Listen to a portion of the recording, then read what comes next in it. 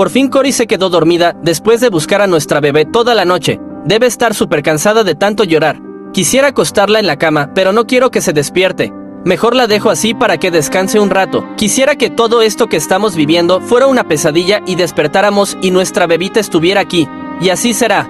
Porque algo me dice en mi corazón que muy pronto tendremos a Sofía nuevamente aquí con nosotros. Yo también deseo con todo mi corazón que la pequeña Sofía regrese muy pronto sana y salva. Bueno, ¿y qué te dijeron los de la Guardia Costera hace rato que hablaste con ellos? ¿Tienen alguna pista de dónde podría estar Sofía? Pues dentro de todo lo malo, me dieron buenas noticias. Un equipo muy grande de buzos profesionales estuvo buscando toda la noche el cuerpo de Sofía y no apareció. Así es que están seguros de que mi princesita no se ahogó y está viva. Y mi mamá se ha encargado de anunciar por todos lados una muy buena recompensa a quien la encuentre. Así es que confío en que muy pronto alguien la encontrará y la reconocerá para entregarla y cobrar su recompensa. Solo espero que quien encuentre a Sofía sea buena persona y la trate bien. Pobrecita bebita, debe estar súper asustada y también espero que no se haya enfermado. Bueno, voy a preparar el desayuno porque de seguro no han comido nada.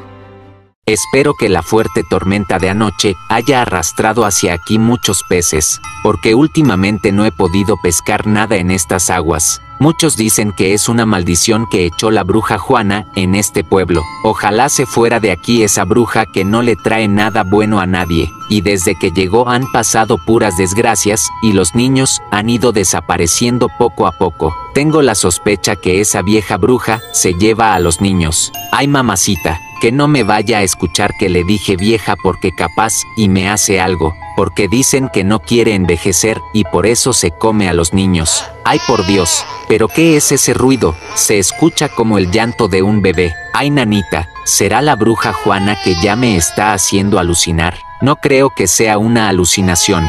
Por Dios, pero es una bebecita, ¿qué está haciendo una pequeñita completamente sola? Y viene del mar abierto. Tranquila nena, ya voy a sacarte de allí. Pobrecita debe tener mucho frío. Seguramente se perdió con la tormenta. Pero ¿cómo es posible que haya sobrevivido a semejante tormenta? Es casi imposible. Seguramente esta bebé tiene un ángel que la cuida mucho. ¿Y ahora qué hago con ella? Ay mamacita, ¿y si piensan que me la robé y me meten a la cárcel? Debo dar aviso a las autoridades. Seguramente sus padres deben de estar como locos buscándola. Voy a llevarla al pueblo a ver si alguien sabe algo de ella.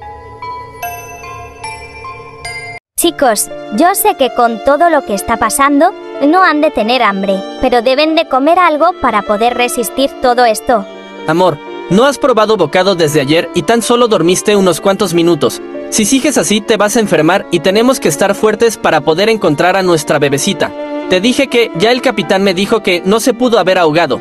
Así es que de seguro alguien la encontró y no tardan en darnos aviso. ¿Cómo me piden que coma si ni siquiera sé si mi princesa también tiene hambre, si tiene frío, si alguien la encontró? ¿Y qué tal si no la están tratando bien? Por favor, Dios mío, ya quiero que mi bebé aparezca. Tenemos que ser positivos. Con tantos millones que ofrecimos como recompensa, la están buscando por todos lados.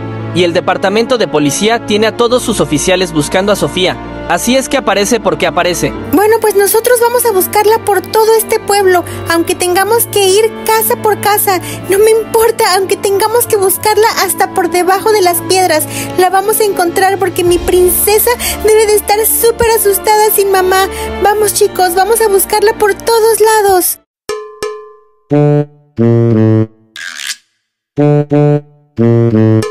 Vieja, mira lo que me encontré en el lago. Estaba empezando a pescar y de repente que escuché el llanto de un bebé y primero pensé que estaba alucinando, pero después vi a esta pequeñita que venía en un flotador y venía desde el mar. Se ve que la corriente la trajo hasta acá. ¿Puedes creerlo? Ya deja de vacilarme, Pancho. ¿Cómo va a ser que una bebé sobrevivió sola en el mar y peor aún con la tormenta que hubo anoche?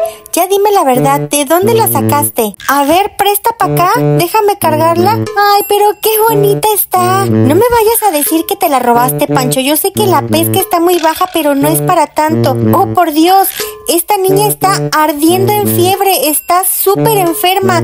Ahora nos vamos a meter en un problemón si le pasa algo a esta bebé. Es urgente llevarla al hospital, Pancho. Ay vieja, no me asustes. Acabo de salir de la cárcel, lo menos que quiero son problemas. Oye, Pancho, pensándolo bien, creo que esta es la bebé desaparecida que está saliendo en todas las noticias. No estoy segura, pero se parece muchísimo y creo que ofrecen re harto dinero. Tienes razón, vieja. Creo que sí es la bebé que es nieta de los ricachones, esos de las noticias. Pero ¿y ahora qué vamos a hacer vieja? La nena está muy enferma y si piensan que nosotros le hicimos algo y por nuestra culpa se enfermó, yo creo que primero hay que curarla. Y ya que esté curada la entregamos. ¿Qué te parece la idea? Pues sí, cierto, Pancho, tienes razón. No vaya a ser que nos echen la culpa de que la niña se enfermó y nos sale peor el caldo que las albóndigas. Pues vete a la farmacia y compra la medicina, una leche y pañales. Está bien vieja. Ahorita vengo. Son 357 de los pañales, la medicina, la fórmula y el biberón. Un favorcito Leti, apúntamelos a mi cuenta y en cuanto me paguen te lo vengo a pagar. ¿Está bien? Claro que sí, Panchito, no se preocupe. Muchísimas gracias Leti. Hasta luego. Qué extraño, ¿por qué el Pancho está comprando cosas para bebé? Si no tienen hijos, ¿será que llegó un nuevo bebé al pueblo? Si es así, tiene que ser mío. Todos los bebés de este pueblo son míos. Tengo que ir a investigar qué está pasando.